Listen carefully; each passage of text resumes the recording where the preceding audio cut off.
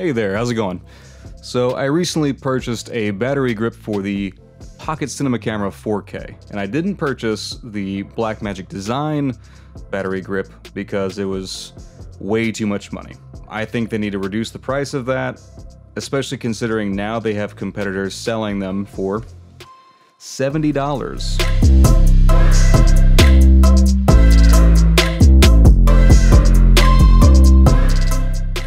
So I bought this battery grip on eBay for $70, direct from China. Um, the brand is completely unknown to me.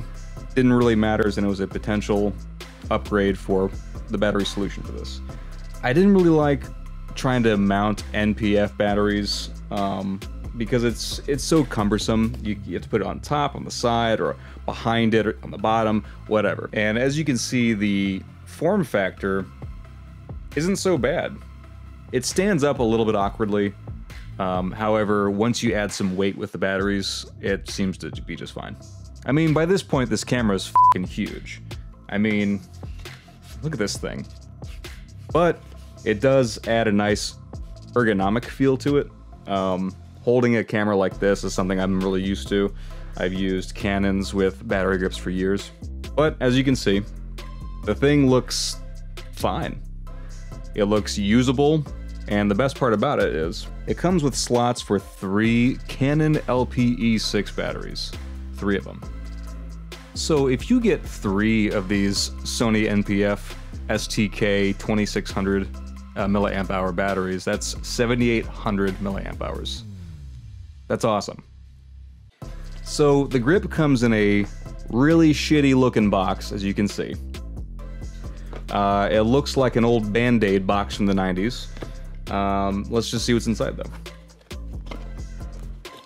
It's also from a company named MCO Plus. I don't know.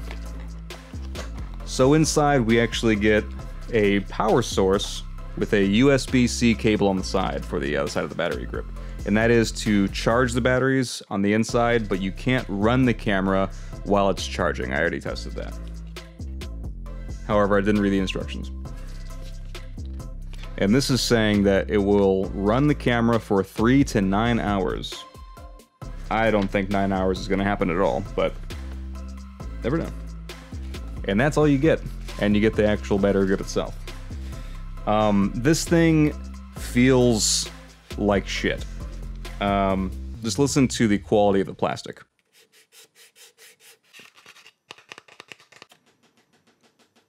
It's like a cheap plastic ASMR video. Anyway, also one weird thing is that they decided to put the screw mount off to the side. As you can see, they decided to go off center. I think it's kind of strange they decided to put it right there. So I think with a cheese plate, you could make this thing work just fine. I mean, the reason they did that, I can see just by the design. Is when you open this up, they, in order to fit three of these in here, they needed to mount it, where, where's it, there you go. Needed to mount it right in between the uh, third battery.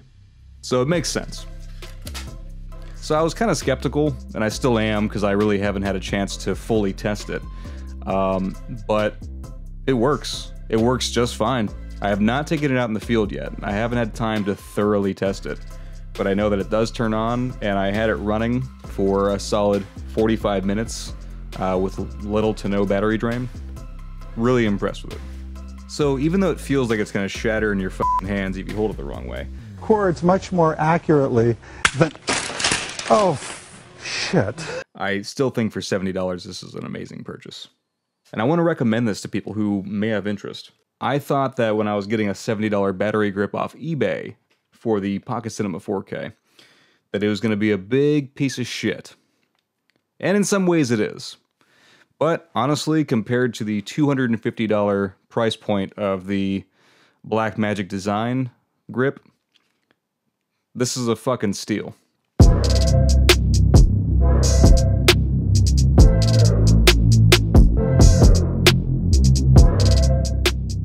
Let's compare it to my my little Canon EOS M. Right. And you are correct. That is a Christmas tree behind me, and it is May.